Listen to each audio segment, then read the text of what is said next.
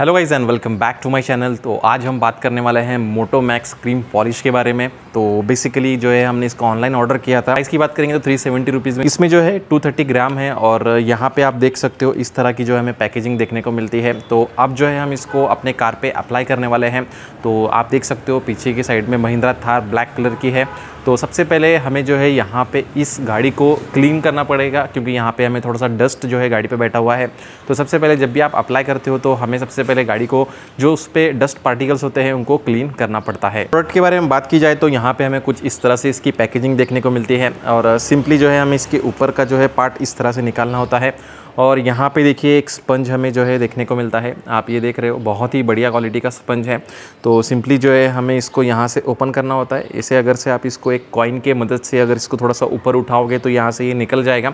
मैं आपको आगे वीडियो में बताने वाला हूँ। तो इस गाड़ी को आप यहाँ पर देख सकते हो। इस पर जो है बहुत ज़्यादा डस्ट जो है बैठ चुका है। तो सबसे पहले हम जो है इसको एक गीले कपड़े से क्लीन करेंगे। माइक्रोफाइबर से क्लीन करेंगे। जब भी आप अपनी कार को क्लीन करते हैं तो माइक्रोफाइबर की मदद से ही उसको क्लीन करें। नहीं तो उस पर जो है हमें क्रैशेज़ देखने को मिल जाते हैं।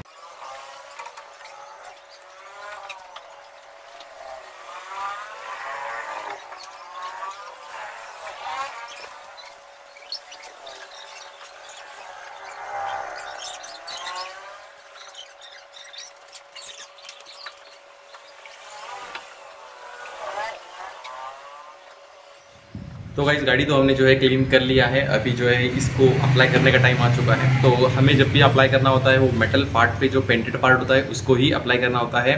फाइबर वाले पार्ट पे इसको अप्लाई ना करें। तो बॉक्स तो हमने ओपन कर लिया यहाँ पे। आप देख सकते हो आ, हम जो है नया बॉक्स ही मंगाए थे इसको। तो सबसे पहले जो है हमें इसको इस तरह से लेना है यहाँ से। और लेने के बाद में जहाँ पे हमें लगाना है जैसे कि मेटल पार्ट पे हमें लगाना है तो सब तरफ़ इसको जो है इस तरह से हम लगा देंगे। ठीक है? और जब भी हम इसको लगाएँगे इसको जो है हमें पूरी बॉडी पे लगाना है मेटल पार्ट सिर्फ़। और इसको जो है राउंड राउंड इसके अंदर जो है ऐसे घुमाना है। तो ऐसे सारी गाड़ी पे जो है हमें मेटल पार्ट पे अप्लाई करना है। एक लेयर बनानी है वहाँ पे, ठीक है? जैसे ही यहाँ पे मैं आपको बता रहा हूँ। ये जो है आपकी गाड़ी के ऊपर सात से आठ बार जो है लगेगा और हमें जो है मंथ में सिर्फ़ और सिर्फ़ एक ही बार जो है यूज़ कर सकते हैं। और सात से आठ बार यानी कि नियर अबाउट सात से आठ महीना ये चलेगा।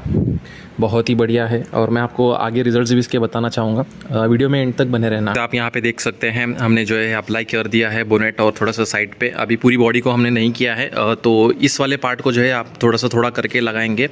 अभी ये एक पंद्रह से बीस मिनट हम यहाँ पर छोड़ेंगे इसको, थोड़ा सा ड्राई होने के लिए एक लेयर बन जाएगी। फिर इसको जो है हम एक सूखे कपड़े से जो है माइक्रोफाइबर से उसको पूरा पोच के क्लीन कर लेंगे।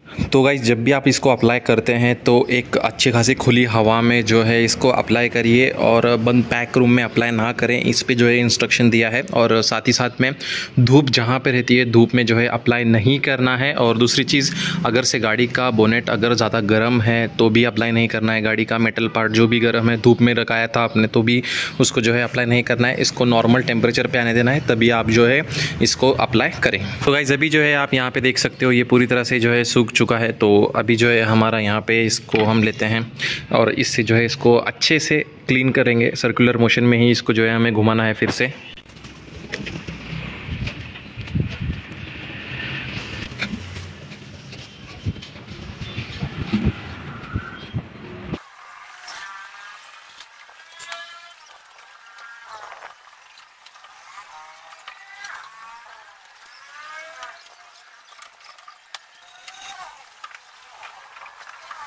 आप यहाँ पे पीछे देख सकते हो मेरे, हमने जो है यहाँ पे पूरा क्लीन कर लिया है और अभी जो इसकी शाइनिंग बहुत ज़्यादा देखने को मिल रही है और साथ ही साथ में बहुत ही सरफेस जो है सॉफ्ट हो चुका है। मैं आपको बैक कैमरा से दिखाता हूँ एक बार।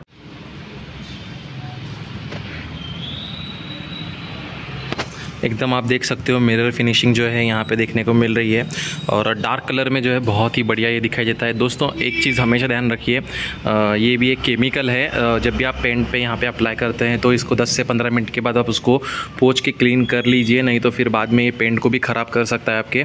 और आँखों से जो है आप इसको बचाइए अपने आँखों में जो है। जब भी आप इसको अप्लाई करते हैं तो आँख में जो है आप आँख में उंगली मत करिए, क्योंकि फिर वहाँ से आपको जो है प्रॉब्लम हो सकती है, क्योंकि आफ्टरऑल केमिकल है ये। और आप यहाँ पे देख सकते हो सिर्फ़ हमने यहाँ पे ही अप्लाई किया था ठीक है? अभी जो है यहाँ पे जो है हम अप्लाई करेंगे साइड वाले पार्ट पे। तो आज की इस वीडियो में सिर्फ़ इतना ही था। वीडियो अच्छा लगे तो वीडियो को ज़रूर लाइक करें शेयर करें सब्सक्राइब करें और भी हमारे चैनल पर ऐसे बहुत सारे वीडियोज़ हैं। अगर आप उन वीडियोज़ को भी नहीं वॉच किए तो उन वीडियोज़ को भी ज़रूर वॉच करिए। तो मिलते हैं नेक्स्ट ब्लॉग में।